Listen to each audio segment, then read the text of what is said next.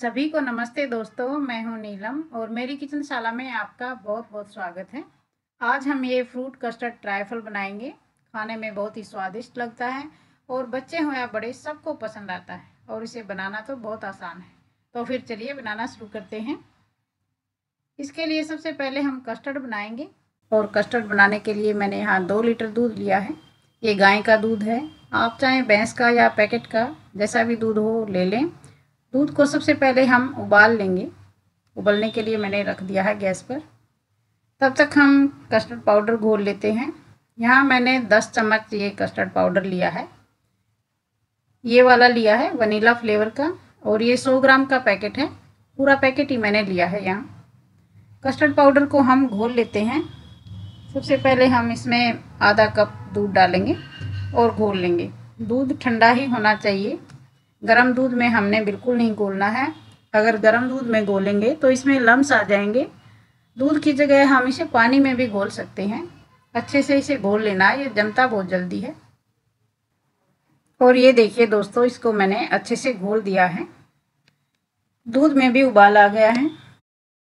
एक बार चला लेते हैं और फ्लेम को लो कर लेंगे ताकि दूध हमारा निकले ना।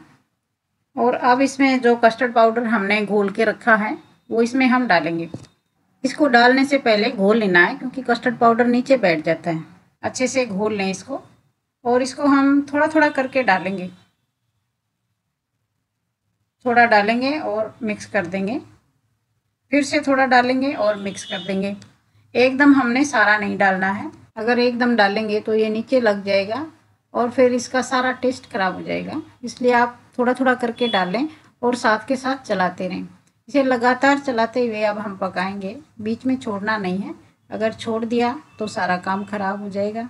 और ये देखिए, मैंने सारा मिक्सचर इसमें डाल दिया है। इसको हम अभी गाढ़ा होने तक पकाएँगे। दो तीन मिनट इसी तरह लगातार चलाते रहेंगे और फ्लेम को मीडियम रखेंगे। कस्टर्ड को हम इसी तरह लगातार चलाते हुए पकाएँगे और चम्मच पतीले के तले से टच होनी चाहिए। ऊपर ऊपर नहीं घुमाना है। नीचे तक हमने इसको घुमाना है। अब हम इसमें चीनी भी डाल देते हैं। यहाँ मैंने एक मीडियम साइज़ की कटोरी चीनी की ली है। ये इसमें डाल देते हैं। चीनी आप कम ज़्यादा कर सकते हैं, टेस्ट के अकॉर्डिंग। और इसको मिक्स करके इसी तरह लगातार चला लेंगे। दो तीन मिनट में ये बन जाता, ज़्यादा टाइम नहीं लगता उबलने के बाद। ये देखिए, कस्टर्ड हमारा गाढ़ा होना शुरू हो गया है। बस एक मिनट और चला लेते हैं। बहुत ज़्यादा गाढ़ा भी हम इसे नहीं करेंगे, क्योंकि ठंडा होने के बाद और भी ज़्यादा ये गाढ़ा हो जाता है।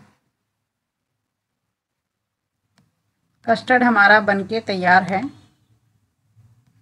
गैस को ऑफ़ कर देते हैं। और इसे एक मिनट और चलाएँगे, क्योंकि ये अभी पतीला बहुत गर्म है, और इसे अभी छोड़ देंगे तो ये नीचे लग जाएगा। इसलिए थोड़ा एक दो मिनट और चला दें, बंद करने के बाद भी। इसको मैंने एक मिनट और चला दिया है। अब इसे ठंडा होने के लिए छोड़ देंगे। अब हम लेंगे एक बॉल और उसमें डालेंगे फ्रूट बनाना डाला है एप्पल मैंगो और ये अनार के दाने पोमीग्रेनेट सीड्स फ्रूट आप अपने मनपसंद ले लीजिए। बस आपने इसमें तरबूज, खरबूजा, पानी वाले फ्रूट नहीं डालने इसमें हम एक चम्मच पिसी हुई चीनी डाल देंगे और मिक्स करके इसको 10 मिनट के लिए फ्रिज में रख देते हैं ताकि ये फ्रूट भी हमारे ठंडे हो जाएँ और कस्टर्ड भी मैंने दो घंटे पहले ही फ्रिज में रख दिया था। अब लेंगे एक बड़े साइज़ का बोल जिसमें हम कस्टर्ड डालना चाहते हैं। इसमें मैं रख रही हूँ यहाँ ब्रेड के पीस आप चाहें इसमें रस भी रख सकते हैं या फिर केक भी रख सकते हैं या फिर आपका ना मन करे तो कुछ ना रखें एज यू लाइक ब्रेड के ऊपर डाल देते हैं ये चेरी चेरी का टेस्ट भी बड़ा अच्छा लगता है इसमें। और इसके ऊपर कस्टर्ड की लेयर लगा देंगे। ठंडा कस्टर्ड है हमारा। दो ढाई घंटे पहले मैंने फ्रिज में रख दिया था।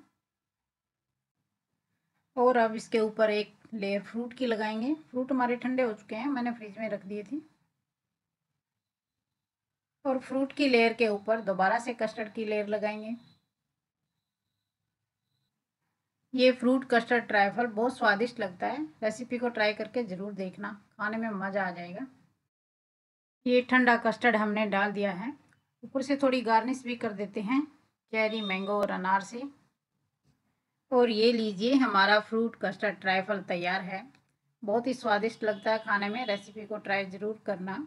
मेरी कोशिश हमेशा यही रहती है कि मैं बहुत ही इजी बिना किसी झंझट वाली टेस्टी और हेल्दी रेसिपी आपके लिए लेके आऊँ।